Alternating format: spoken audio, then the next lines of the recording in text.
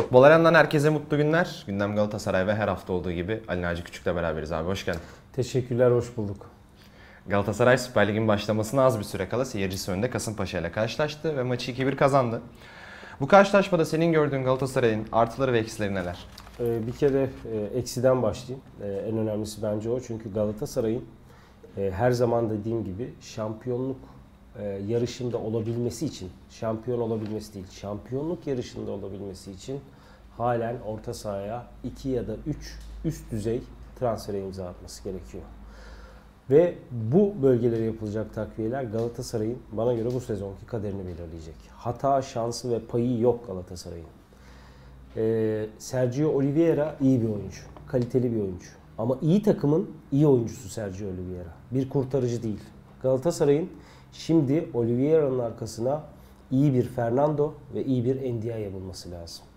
Dursun Özbek yönetimi nasıl 2017'de Fernando ve Ndiaye'yi ve neredeyse %100 e, başarılı bir transfer süreci e, yaşattıysa 2017'de ve Galatasaray'ın ard arda kazandığı iki şampiyonlukta bu transferlerin nasıl önemi, e, önemi varsa bir kez daha aynı performansı sergilemesi gerekiyor Sayın Dursun Özbek ve kurmaylarının. Yani Galatasaray'ın başarılı olması için bir Fernando ve yeni bir Ndiaye bulması lazım. Sağ bek konusunda konuşmaya gerek yok. Çünkü Deboa gerçekten futbol bilgisi ve zekası üst düzey bir oyuncu. Zaten Fransa milli takımı özellikle uluslararası platformda neredeyse bu işin Everest'i. Everest'e çıkmış bir oyuncudan bahsediyoruz. Nance'ın altyapısından yetişmiş. Lyon'da yıllarca forma giymiş ve kaptanlığını yapmış bir futbolcudan bahsediyoruz. Kısaca hem karakterli hem uyum problemi yaşamayan hem de üst düzey bir futbolcu. Açıkçası Deboa çok açık bir şekilde e, Galatasaray'a kalite katacak ve o bölgedeki problemleri tamamıyla ortadan kaldıracak. Galatasaray'ın aynı zamanda bir e, skor e, opsiyonu olan yani skorer bir e, orta saha oyuncusu transfer etmesi lazım. E, çünkü Seferovic'in e, 20 gol bandına yanaştığını düşünürsek Kerem ve Yunus'un onar golde e, ortalama skor üreteceğini düşünürsek kesinlikle bence e, Galatasaray'ın iyi bir skorer bir 10 e, numara transferi e, yapması lazım ki e, hücum hattında e, önümüzdeki sezon bir problem yaşamasın. Onun dışında stoper konusu evet Nelson belki Kasımpaşa maçında iyi değildi, kötüydü. Nelson'un kötü olması Abdülkerim'i de olumsuz etkiledi. Ee, Kaan Ayhan'ı da alabilirse Galatasaray defans hattına o bölgede de ben problemlerin e, minimize olacağını düşünüyorum ama dediğim gibi Galatasaray için en hayati nokta e, çok iyi bir 6 ve e, çok iyi bir 8 numara alabilmek. Öne de iyi bir 10 transferi yapmak. Yani Sergio Oliveira ile bu iş yürümez. Sadece Sergio Oliveira transferiyle bu iş yürümez ve kaliteli bir oyuncu olması lazım. Siz bu taraftara e, İdrise Ganagay'dan bahsettiniz, William Carvalho'dan bahsettiniz. Şimdi çıtayı düşürürseniz, seviyeyi düşürürseniz kimseyi tatmin edemezsiniz. Maçın ardından herkesin ortak görüşü Galatasaray'ın oyun kurumu üzerine sıkıntılar yaşadığına dairdi. Galatasaray'ın görüştüğü isimler kimler 6 numara için? Bir kere bu 6 numara pozisyonu Galatasaray'ın yıllardır kanayan yarası. Yani Melo ve Ndiaye'den sonra o 6'yı bir türlü alamadı Galatasaray.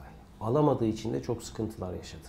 Artık bu hataya düşmemesi gerekiyor Galatasaray'ın. Yani mevsimler geçiyor, isimler değişiyor, teknik adamlar, yönetimler değişiyor ama Galatasaray yıllardır iyi bir altı alamıyor. Artık buna son vermeli. Galatasaray yönetimi ve teknik heyeti. Kasımpaşa'nın attığı golü Galatasaraylılar ve futbol severler tekrar tekrar izlesin. Yayın dışından çok açık bir şekilde Berkan'ın hatası ve gol. Kasımpaşa'nın golü. İyi bir altısı olsa Galatasaray'ın zaten o şutu çektirmez. Yani Josef de Souza o şutu hayatta çektirmez size. Galatasaray çok üst düzey isimleri gündemine aldı. İdrise Ganagay, William Carvalho, Endombele konuşuldu. E şimdi konuşulan isimlere bakıyorsun. E, Fredrik Mitsjö. Yani şimdi Fredrik Mitsjö ben birçok futbol severle, çok iyi scoutlarla, kulübün özellikle futbol e, alanında uzman isimleriyle konuşuyorum. Yani Mitsio ne 6, ne 8, ne 10. 7,5 olduğunu söylüyorlar. Yani e, ve Hollanda gibi serbest ve yumuşak birlikte dahi bu oyuncunun çok net ön plana çıkan bir özelliği yok. Skor desen doğru dürüst e, skor özelliği de yok. Yani bence Mitsio Galatasaray'ın e, bu problemine çözüm üretebilecek kalitede bir oyuncu değil. Ama Galatasaray Mitsio'yu istiyor. Kulübüyle görüşüyor. Ya Mitsio nasıl bir oyuncu? Benim dinlediğim ve görüşüne güvendiğim o futbol adamlarının deyimiyle Çikaldağ gibi bir oyuncu. Siz zaten Çikaldağ'ı alarak bir hata yaptınız. Ha, Mitsio'yu rotasyon oyuncusu olarak alıyorsanız kiralayın. Ama bu paraları bence Mitsio'ya vermeyin. Galatasaray Grealish transferinde de final aşamasına geldi ama ondan sonra işler karıştı. Avusturyalı oyuncunun transfer sürecinde neler yaşandı ve Grealish konusu kapandı mı? Ya şimdi burada tabii ki çok eee, ne diyeyim bilgi kirliliği oluştu. Ya da bilgi kirliliği yaratıldı. Galatasaray'ın içinde de özellikle transfer konusunda bir bölünme var. Bu bölünme Galatasaray için iyi değil. Grealish konusunda da belki de bu yaşandı. Galatasaray oyuncuya önce imza parası olarak 2,5 milyon euro teklif ediyor. Daha sonra bu rakamı 1,5'a indiriyor. Ama hikayenin başlangıcında bu nasıl anlatıldı bize ya da biz nasıl aktarmıştık? Bir buçuğa el sıkışıyor futbolcu Galatasaray'la. Daha sonra e, işte Brighton, Trabzonspor devreye girince rakam iki buçuğa çıkıyor menajeri tarafından istenilen rakam. Hayır, tam tersi. Galatasaray önce iki buçuk milyon euroyu e, öneriyor imza parası olarak. Yıllık bir buçuk milyon euro karşılığında anlaşıyor. Ama sonra e, Galatasaray yönetimi kendi arasında bir toplantı yapıyor ve imza parası olarak 1,5 milyon euronun doğru rakam olacağı görüşünde birleşip oyuncuya buna göre teklif sunuyor. Ve nitekim de e, futbolcu ve menajeri de 2,5 demiştiniz, 1,5'a düşüyorsunuz. Biz buna evet diyemeyiz diyerek e, masadan kalkmıştı. Fakat bugün itibariyle Florian Grealish'in Galatasaray'ın ana planları arasında yer alan oyuncu olmadığı çok açık. Bunun sebebi de şu. e, Hem bilgi hem de öngörü olarak bunu söyleyebilirim yaptığım telefon görüşmeleri ışığında. Şimdi Galatasaray gelir gelmez e, formayı giyebilecek o ligin ilk haftasında Antalya Spor deplasmanında e, ya da hadi olmadı ikinci hafta Giresunspor maçında oynayabilecek sıcaklıkta hazır bir oyuncu almak istiyor. Grealish'e baktı Okan Hoca da yönetimde ve oyuncunun 4 ayda sadece bir tane 90 dakikası var. 45 gündür antrenman yapmamış. Yani Grealish'in hazır olma sürecinin bir ay, bir buçuk ay alacağı düşünülüyor Galatasaray teknik heyetinde. Ve bu nedenle şu anda Grealish Galatasaray'ın dediğim gibi eee, ana hedef oyuncularının arasından çıkmış gibi gözüküyor. Galatasaray yıldız bir 10 numarayı da kadrosuna katmak istiyor. Bu noktada Evander ismi dillendirilmeye devam ediyor. Evander'de görüşmeler ne durumda? Ee, evet, Evander'le görüşüyor Galatasaray. istiyor ama bu futbolcudaki problem şu oyuncunun bir sakatlığı var ve bu sakatlığında Ağustos ayı sonuna kadar e, sürece e, dile getiriliyor. Bu açıkçası biraz e, soru işareti yaratmış durumda e, Galatasaray teknik heyetinde ama yönetim bu transfer için e, kulübüyle e, ciddi bir e, görüşme halinde. E, fakat Evander doğru isim mi? Yani e, bilemiyorum. Yani Joao Pedro doğru isimdi Galatasaray için. Yani biraz önce dedim ya Galatasaray'ın skor özelliği olan, skora katkı yapabilecek bir 10 numaraya ihtiyacı var. Yani Joao Pedro geçen yıl Cagliari'de 13 gol 4 asist yapmış. 34 gol atmış Cagliari. 17'sinde Joao Pedro'nun yarısında Joao Pedro'nun e, ismi var. Şimdi bu tipte bir oyuncu almanız lazım. Ve bu oyuncuyu da Fenerbahçe aldı. Çok büyük bir çalım attı rakibine. Çok açık. Ha işte rakamlar, maliyetler vesaire. Okey. Ama Joao Pedro ayarında artık bir 10 numara almanız lazım sizin. Evander bunu karşılayabilir mi? Bilemiyorum. Transferlerden devam edelim. Galatasaray'da milli futbolcu Ali Akman'ın da transfer edilmesi gündemde. Genç oyuncu Galatasaray'a geliyor mu? Ali Akman'ı Galatasaray çok açık bir şekilde istiyor ve Frankfurt kulübüne resmi olarak kiralama teklifinde bulundu. Oyuncu da eğer onay verirseniz ben Galatasaray'da oynamak istiyorum diyerek kulübünde bir görüş belirtti. E, bu transfer için belki de Galatasaray adına en avantajlı nokta oyuncunun kariyerinde çok önemli payı bulunan amcası Ayhan Akman'ın e, Galatasaray'ın futbol idari kadrosunda yer alıyor olması.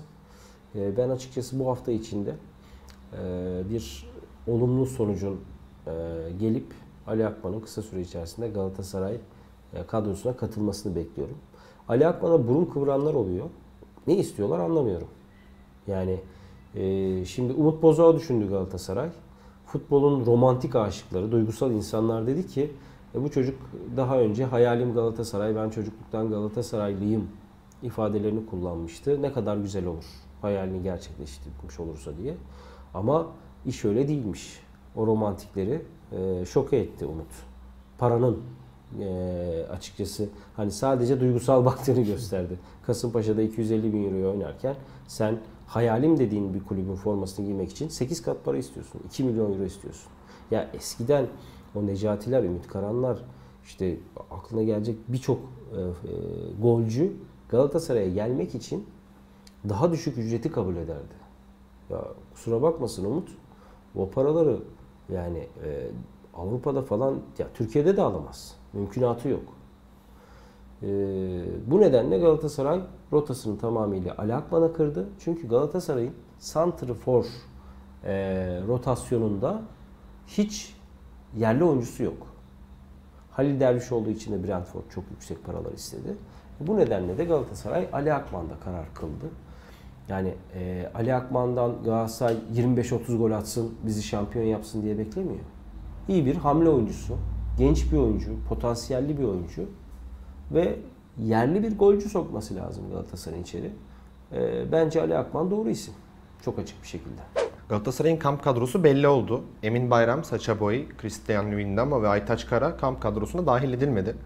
Bu oyunculara yönelik bir teklif var mı ve varsa kulübün bu oyuncular özelinde tasarrufu nasıl olur? Aytaç Kara'yı isteyen birçok kulüp var Süper Lig'de. Zaten kısa süre içerisinde de sonuçlanacaktır. Yani Aytaç'ı birçok kulüp istiyor. Geçen yıl olduğu gibi işte ligin ikinci yarısında Göztepe'de kiralık olarak oynamıştı Aytaç. Aytaç konusunda problem yaşanmayacaktır. Ama ben yani e, Galatasaray'ın uyguladığı bu e, tavrı doğru bulmuyorum.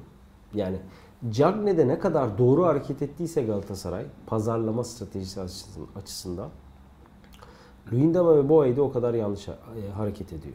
Yani Cagne'nin de kontratından çıkmak istiyordu Galatasaray. Ama kadro dışı bırakmadı. Aldı, kampa götürdü, şans verdi. Teklif geldi. Minimum zararla çıktı Galatasaray. Yani orada 1.2 milyon euroyu kurtardı Galatasaray Cagne'den. E şimdi Luyendama'yı kadro dışı bırakıyorsunuz. 8 milyon euro almışsınız bu futbolcuyu.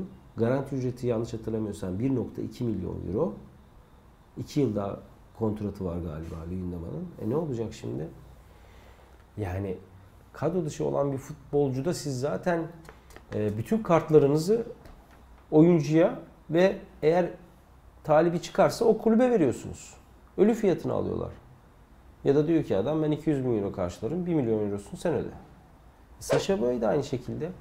Evet belki düşünmüyorsunuz ama en azından e, bence pazarlama stratejisi açısından Galatasaray'ın direkt e, bu isimlerle ipleri tamamıyla koparmaması ve Cagney'de olduğu gibi e, uzun bir sürece yayıp oyuncuları doğru bir fiyata, doğru bir stratejiyle pazarlaması gerekiyordu. Yani Luyendama'da, Boye'de evet kadroda sezon başından beri düşünülmüyor. Ama bu şekilde e, profesyonel kontratı olan futbolcuların e, göz ardı edilmesi ve kadro dışı bırakılmasını ben doğru bulmuyorum. Açık bir şekilde. Ha teklif var mı? Saşa Boy'u Strasbourg istiyor. E, halen görüşmeler sürüyor. E, Luyendama konusunda henüz net somut bir rakam yok ama e, Galatasaray böyle 1,5-2 milyon euro bandında bir bonservis bedeliyle e, Luyendama'yı elinden çıkarmak istiyor. Geride kalan günlerde Galatasaray adası ile ilgili de çok önemli bir gelişme oldu. Ada resmen Galatasaray'ın artık. Dursun Özbek ve 3 kurmayı adadaki yenileme masraflarını üstlendi. Bu konuyla ilgili diğer ayrıntılar neler? Evet yani e, Galatasaray adası açıkçası yani Boğaz'ın bir incisi ve e, herhalde dünya üzerinde e, bir adası olan tek kulüp Galatasaray. Fakat o ada yıllardır o kadar e, kötü bir görüntüye sahipti ki yıkık, virane halde. Ne Galatasaray'a ne de İstanbul'a yakışıyordu o görüntü. Sayın Dursun Özbek e, bu görüntüyü ortadan e, kaldırdı. E, geçmiş başkanlara da teşekkür etmek lazım açıkçası bu izinlerin alınmasında. Ama Sayın Dursun Özbek ve yönetimi genel kurulda verdiği sözü bir kere tuttu. Dediler ki kulüp kasasından Galatasaray adasının tadilat masrafları ile alakalı tek kuruş çıkmayacak. Ve Sayın Dursun Özbek, ikinci başkan Metin Öztürk, Dikran Gülmezgil yönetim kurulu üyesi ve aynı zamanda Sportif AŞ Başkan Vekili Erden Timur. 8 milyon TL'lik tadilat masraflarının tamamını bu dört isim karşıladı.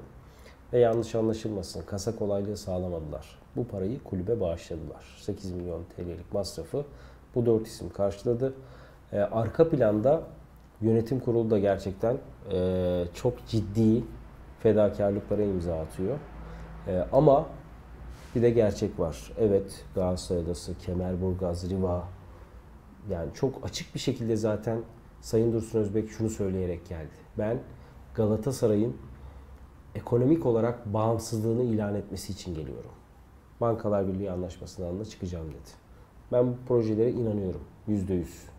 Sayın Dursun Özbek'i tanıdığım için. Ama taraftar adayı, Kemerburgaz'ı ya da inşaatları umursamaz. Taraftar başarı ister. Ve artık Galatasaray'ın o başarıya ihtiyacı var. Galatasaray'ın lig başlamadan artık iyi bir 6, iyi bir 10 ve iyi bir 9 alması lazım. O yüzden e, şu anda e, adayı ya da işte e, Florya'yı, Kemerburgaz arazisini hiç kimse dinlemez. Abi hem keyifli sohbet hem de verdiğin bilgiler için çok teşekkür ederiz. Haftaya yeni bir gündem Galatasaray'da görüşmek üzere. Ben teşekkür ederim. Görüşmek üzere.